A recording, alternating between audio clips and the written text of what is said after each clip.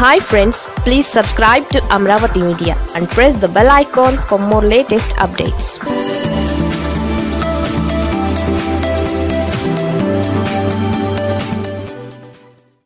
జగన్పై విమర్శలు సరే. చంద్రబాబు ఈ ఒక్క మాట చెప్పగలరా? నిద్రలో అయినా మెలకువలో అయినా రాష్ట్రం మేలుకోరే వ్యక్తి కేవలం చంద్రబాబు నాయుడు మాత్రమే. ఇరవై నాలుగు గంటల్లో పద్దెనిమిది గంటలు పనిచేసి రాష్ట్రాన్ని ఏ స్థాయిలో అభివృద్ధి చేయాలా అని ఆలోచించిన ఏకైక వ్యక్తి చంద్రబాబు మాత్రమే.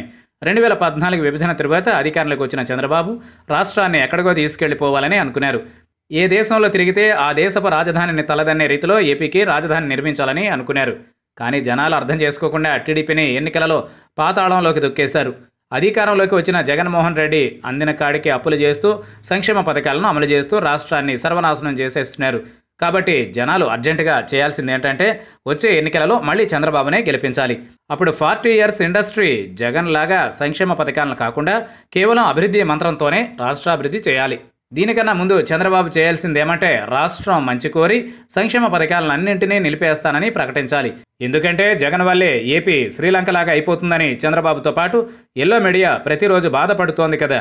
కాబట్టి సంక్షేమ పథకాలు నిలిపేస్తే వేల కోట్ల రూపాయలు సేవ్ అవుతుంది. అలా సేవ్ అయిన వేల కోట్ల రూపాయలతో ముందు అప్పులు వాటి వడ్డీలు కట్టేయొచ్చు. మెల్లిగా అభివృద్ధి మీద దృష్టి పెట్టవచ్చు. మెల్లిగా అభివృద్ధి మీద దృష్టి పెట్టవచ్చు. తర్వాత ఇక అభివృద్ధిలో ఏపీ రేసు గురంలాగా పరుగులు పెడుతుంది. ఈ పని చంద్రబాబు మాత్రమే చేయగలరు. సంక్షేమ పథకాలను నిలిపివేయడం ద్వారా మిగిలే వేల కోట్ల రూపాయలతో ఎన్నో రంగాలలో మౌలిక సదుపాయాలు ఏర్పాటు చేయవచ్చు. పరిశ్రమలు పెట్టి వేలాది మందికి ఉద్యోగాలు ఉపాధి కల్పించవచ్చు. భవిష్యత్తును దర్శించగలిగిన శక్తి చంద్రబాబుకు తప్ప జగన్ లాంటి వాళ్ళకు ఉండదని జనాలందరికీ తెలియాలి. అప్పుడు కానీ జనాలకు రెండు వేల పంతొమ్మిది ఎన్నికలలో తాము చేసిన తప్పేంటో తెలియదు.